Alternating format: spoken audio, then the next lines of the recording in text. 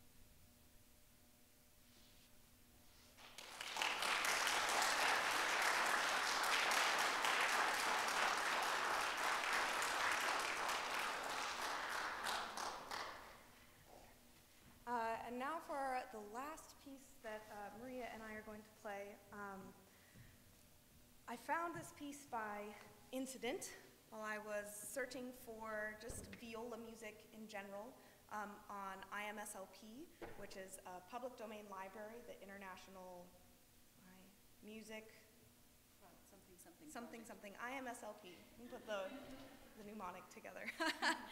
um, and I happened upon it, and I looked up the name, and lo and behold, Marion Bauer was born and raised in Walla Walla, Washington. Um, and I just thought that that was so cool, um, and I had to find a way to, to program her music. And after I listened to it, I, I just really fell in love with all of the sounds. Um, normally, violists play uh, the Brahms uh, clarinet viola sonatas. Uh, it's a lot of grievance between the two instruments. Um, but I think that even though this one is a little bit shorter in length, it deserves to be played as a, as a staple in the viola literature. Uh, so I hope you enjoy uh, this gorgeous sonata from the early 1930s, um, and then have a wonderful rest of your weekend and a beautiful beginning to spring.